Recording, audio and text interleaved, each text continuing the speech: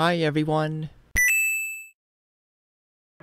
Hello everyone, welcome back to another taste test, and this is the third and final of the three Hot Topic exclusive candy bars that I am trying out.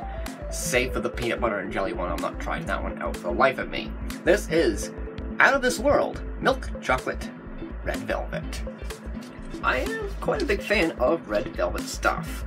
Let's just hope this candy bar pulls through with the red velvet flavoring. These candy bars are a little bit strange to open though. Looks like they're using some type of glue for these wrappers.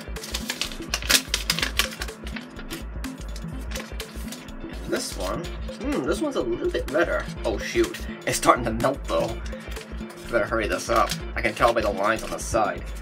Yep, this bar is slightly redder compared to the rest, or the one that I did last time. I think this is probably going to be the best candy bar yet.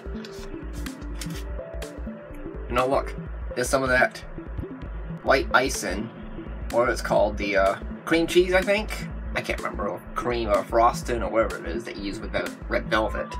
So, out of this world, milk chocolate, red velvet. Here we go. And It is melting. Oh, on my fingers.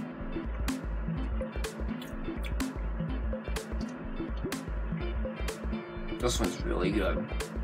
I'm gonna have to say, out of the three I tried, this is the best one. I'm not gonna eat anymore because of that. It's like I'm caught red-handed, like I got into like a, uh, a crime or something. And there's the evidence. Ugh. I might as well do this. But yeah, milk chocolate and red velvet, it's a good mix. This is definitely out of this world. So of all these these three uh three candy bars I tried out, I recommend this one right here.